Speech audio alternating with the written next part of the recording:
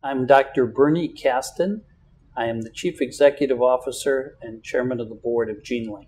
My name is Dr. Stephanie May Heinrich, and I'm the Director of Genomics at GeneLink. The first step when the client selects GeneMe services, a cheek swab is collected, providing genetic material which can be tested.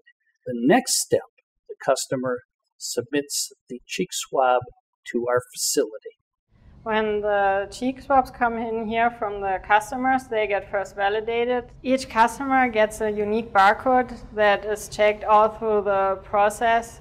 So the barcode needs to match the from the consent form and the swab envelope. So we make absolutely clear that the barcode is really from one person and the consent form needs to be signed.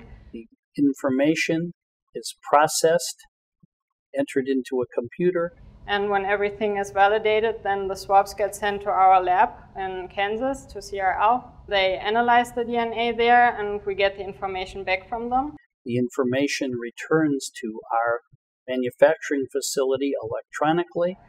Then that gets entered into our system so a customized formula can be created and that will be then transformed into a product here in the production area the ingredients are selected to provide an optimal result based on their specific genetic testing.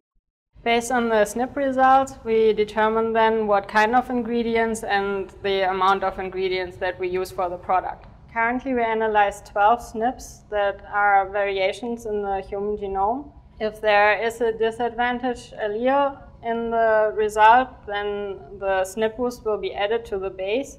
If there is an optimum result, so the advantage allele is there, then um, no SNP boost will go into the base formula. So first the SNP boosts get weighed separately by hand. In the case of skincare, the specific supplements are added to the base formulas. When the ingredients are all weighed and um, then put together, they get mixed properly and then put in the encapsulators so um, they can be filled then in capsules. When the capsules are made, they get filled into a bag that is sealed then and also the barcode is put on again so um, it can't be mixed up with other products and that gets then directly shipped out to the customer. The customized products are manufactured and shipped out immediately for the customer's use.